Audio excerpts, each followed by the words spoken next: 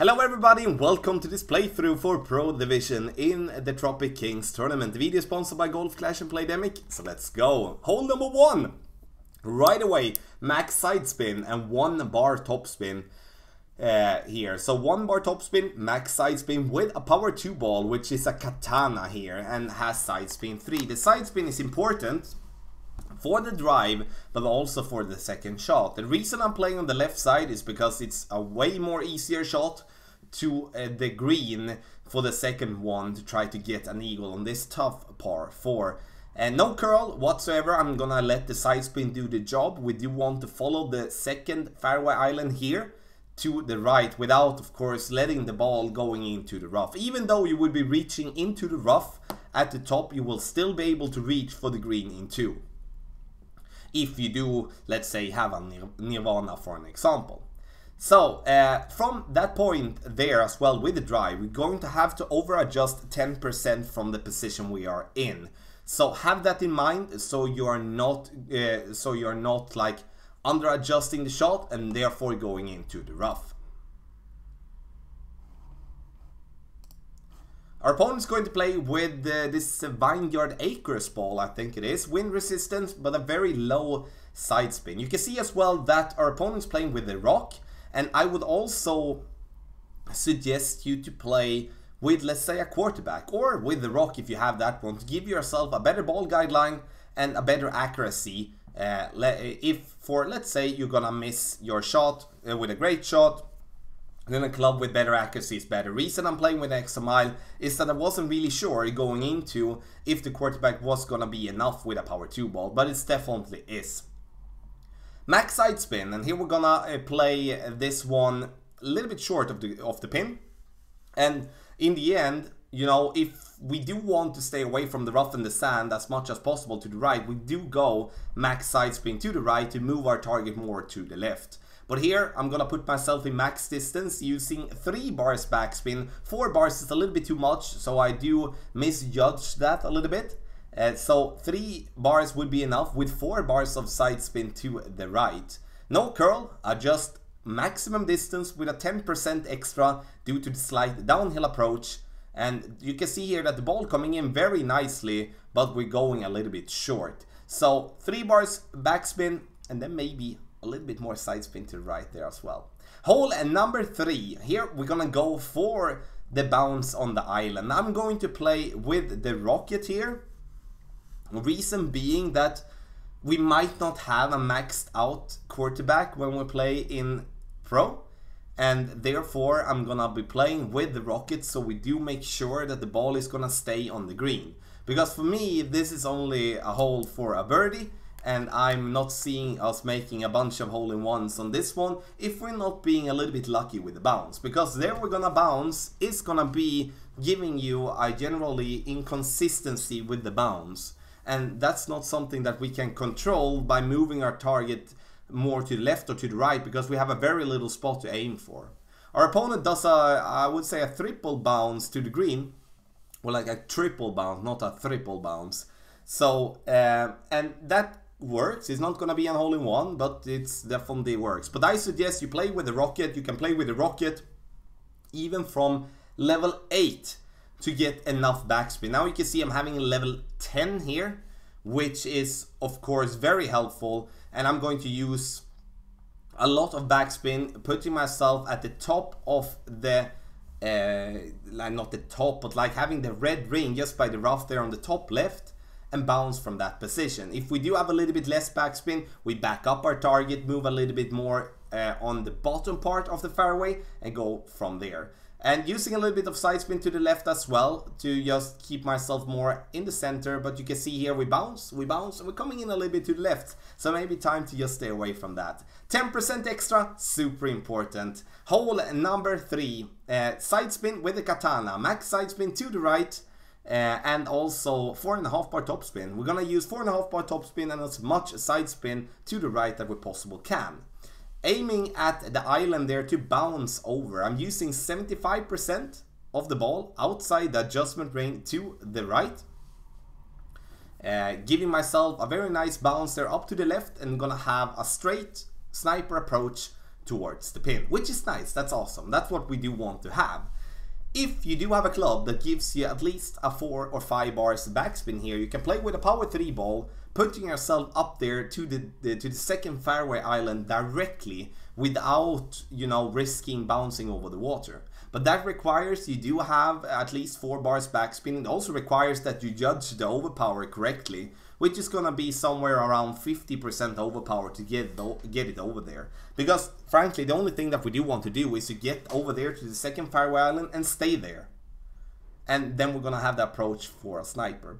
If you for some reason are playing pro with a very high level set of clubs, and I'm I'm talking now Apocalypse 5, 6, 7, or Thor's Hammer 6 or 7, then you can play with a power 5 ball, a berserker ball, max overpower and bounce it on this island we are now over to possibly reach even uh, to uh, even as far to the green.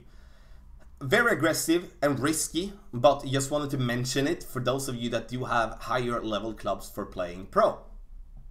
Now aiming straight at the pin, you can see it's very hard to see the ball guideline due to very bright green. So rather zoom in a little bit, give yourself an easier time to look at the ball guideline and that's also why we're using the sniper, giving ourselves a better chance with a better ball guideline and also a better accuracy than many other wood clubs. Gonna bounce on the fairway, we're coming into the pin, gonna be uh, close and I kind of felt that, I remember from stream as well, I kind of felt that this one is gonna miss on the left there. But uh, in the end, that's something that we can tweak uh, further. Nothing extra for the second shot, 10% extra for the drive. 10% extra for this shot as well, the tee shot on hole number 4. Now I'm gonna go max backspin with the Guardian level 6. And I'm going to aim slightly left of the pin. Because the ball is gonna get a slight push to the right and you can see I'm basically half a green square to the left of the pin in terms of adjustment or like one third or something like that if we're gonna be even more detailed. And the trick here though is that I do want your second bounce to be approximately one green square past the pin to get the correct distance to compensate for the headwind and backspin together. You can see we're basically coming in absolutely straight at the pin but the problem is that we do go short. It's because the landing position is too low and therefore we need to push that up again. Maximum numbers, even though we are not starting in maximum distance, but maximum uh, distance with a 10% extra.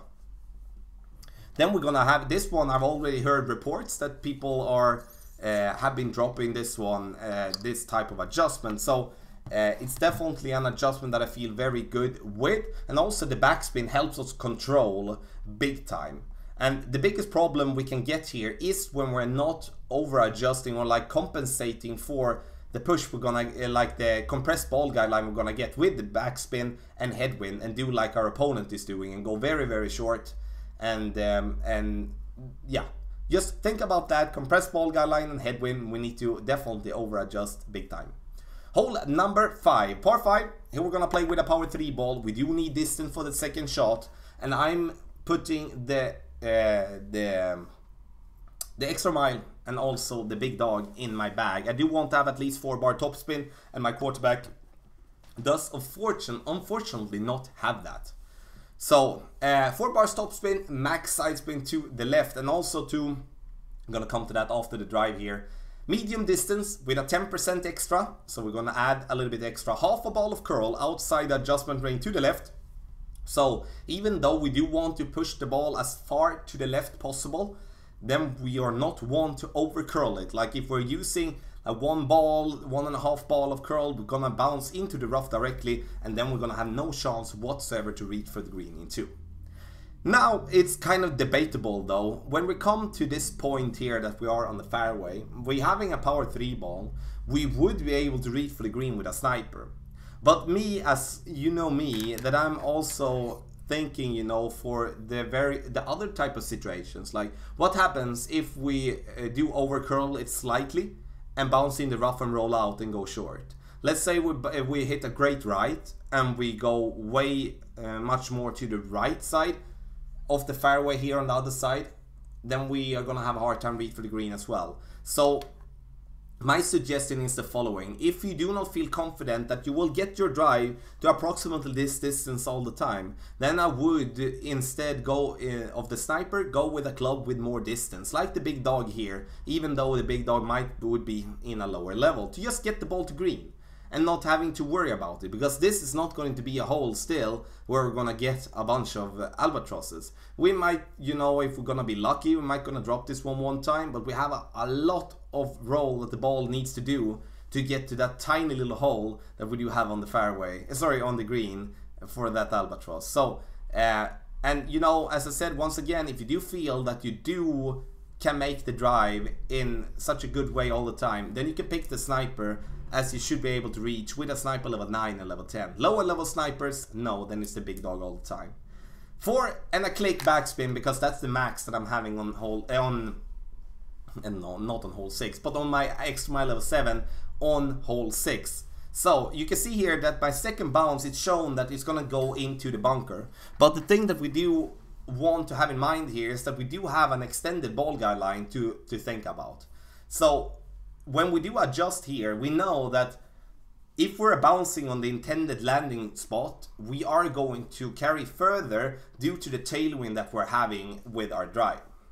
We're going to have to over adjust 10% here and we need to go with a slight amount of overpower in some of the cases. If you do have a very strong wind, you will have to stay away from having to overpower and that's something you can judge, uh, try to judge at least where you push up your target into max distance, you adjust your ring from max overpower position, and then you're gonna see approximately how much overpower you will have to use, like one ring of overpower, two rings of overpower, and try to get the feeling in, in that situation in a good way. We got it over there, which was nice. I also used uh, a lot uh, of curl, like around uh, three quarter, like 75% of the ball outside the outer part of the adjustment range to the right to just make sure that even if I get a, a little longer bounce than I wanted to over the bunker there, that I actually got myself to the right side of the bunker and having rather a longer putt or a wedge from the fringe than I would be flirting with the bunker past the pin. Our opponent hits it perfect as well, gonna overcurl it unfortunately, and if you do that, you're still gonna have a chance. Still gonna have a chance.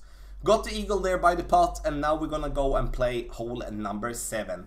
Hole number 7 is a par 3, and now we are going to use uh, the sniper approach from the right side. So even if you do have, I would say a sniper 6, sniper 7, that's the club you're gonna use here when you play. If you do have a di different wood club, let's say you do play with a Viper, I would go with the same type of shot though. It's The only thing is that Viper doesn't really have as much curl as, as needed. Uh, so I would say like please stay with uh, please pick the sniper as a club if it's not in that way that you're not having that you're having the sniper level 5, 5 4 3 2 or 1 so level 9 here, I'm having a katana. I do want a side spin 3. That's super important in my opinion. So we can get a little bit extra. 6 bars backspin, aiming for the second bounce just before the fringe as a target to compensate for the tailwind. So you can see here we are before the fringe and we're going to adjust 1 to 1 here. So that means that you have 7.5 in wind and then you're gonna adjust for 7.5 rings. That's at least what I'm aiming for here and in the end I'm going here with approximately one and a one and a quarter ball of curl to the left which is a little bit too little. We do need one and a half to get the ball to kick in towards the pin. We are there, we're working for it, but still a little bit room, or not room, but still a little bit um, away from that. So, now we're gonna go to hole number 8 and also to just clarify before we go over here Hole number 7, when I say 1 to 1, that's also medium distance with a 10% extra. So if you play with a different club, it's 10% extra from medium distance. Now I'm gonna play on the left side here, playing a more aggressive approach, using a power 3 ball as we do have headwinds, so then we do need a power 3 ball to get where we want to. Trying to find a spot where I'm not gonna see the ball guideline being pushed to the right. But that also means that if we come in too much to the right, we're gonna drop into the rough basically every single time. So we rather want to kind of cut the rough on the left and roll out, or we need to um, just stay away from that completely. Slight amount of curl, like half a ball of curl, uh, four and a half bar topspin, uh, which is the maximum that I do have on the club, and as much side spin to the left possible. And you can see I just clipped the rough. If I wouldn't be clipping the rough, that would be way, uh, like much further ahead. But the thing is, we are on the fairway. We do have a rough bump uh, with a long iron because we do not have the trees in our way. Because it would be, let's say we would be going straight forward, having the ball getting just before the trees, then the trees would be in play. And that's definitely not something that we do want to do.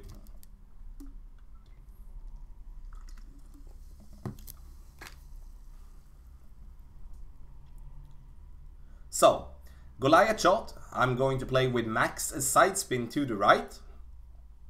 As I rather want to bounce from a more of a left part of the rough there by the green instead of moving over to the right. Because moving over to the right we do have a little hump there at the beginning of the green. That's gonna cause a little trouble because it's gonna fall a little bit unexplained I would say. So max side spin to the right get straight at the pin and I'm going to use uh, one and a half bar top spin in generally one and a half to two bars top spin kind of what I'm gonna go with depending on the distance of my on my club and then we're gonna hit perfect. We're not gonna over adjust anything or under adjust anything either. We bounce, we roll, and get it in for a very nice little eagle. And this is definitely a good opportunity, uh, in my opinion, to get something extra. Last but not least, we're gonna play in um, uh, hole number nine. And here, we do have a win that with a power 5 ball, it is possible for us to make a hook shot trying to get over. The risk that we do take though is that we're to get stuck in the rough and that's going to be a tough shot from the rough to reach for the green in two. Especially if you're not feeling confident with your adjustment with a rough iron, then stay away from that. I'm going to still though play a little bit more aggressively with my approach that I'm gonna go all over the trees using max backspin which is four and a click in backspin and I'm going to go with as much side spin to the right possible half a ball of curl and also with um, like a max overpowered shot. Then I'm gonna get the ball to stay up there to uh, to the top left, and this is gonna help myself making a very, you know, very simple adjustment now, going for the green to secure the eagle.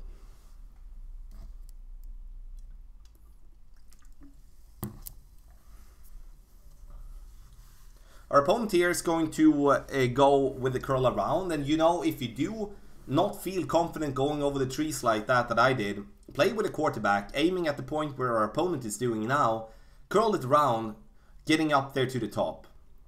And for those of you that do play with a POC 5, 6, 7, or you maybe play with a Thor's Hammer 6, 7, then there's definitely room for using um, uh, using a Berserker uh, and just uh, crush it over uh, over the rough. Now our opponent's super unlucky just getting into the rough. This is kind of the worst possible way to get into the rough actually when we're aiming up there.